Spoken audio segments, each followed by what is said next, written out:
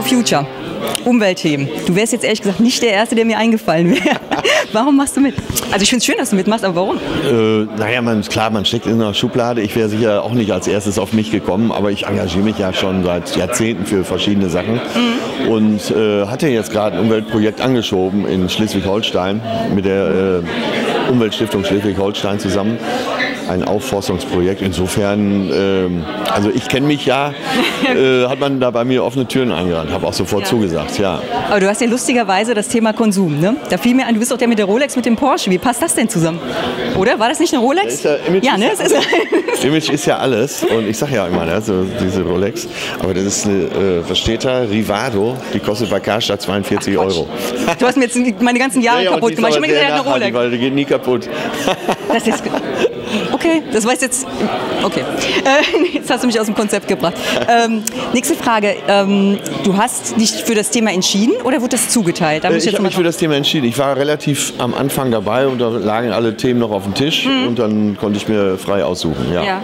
Aber ist es denn nicht schwierig? Ich meine, ihr habt jetzt gesagt, ihr macht jetzt nur nicht das Ernste, ne? weil die Leute kommen hierher, die wollen lachen. Ja, ja, aber, es muss zum Lachen sein. Ja, klar. Aber es gibt ja jetzt auch so, ich meine, es gab ja schon Comedians, die haben sich ganz schön in die Nesseln gesetzt, gerade so bei Klimathemen und so weiter. Ist das schwierig, sowas dann anzupassen?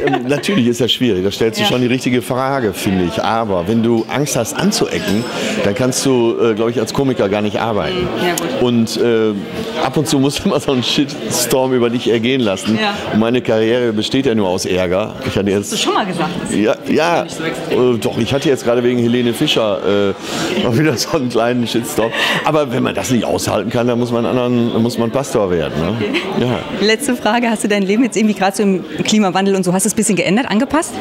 Äh, schon so in den letzten Jahren hat sich einiges geändert. Ähm, zum Beispiel esse ich kein Fleisch mehr.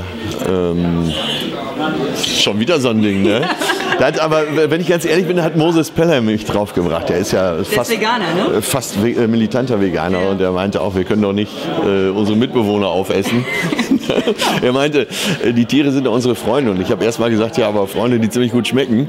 Äh, aber Nein, aber ich habe damit aufgehört, äh, Fleisch zu essen und mir geht's gut damit. Ja. Und der Porsche kriegt Biodiesel?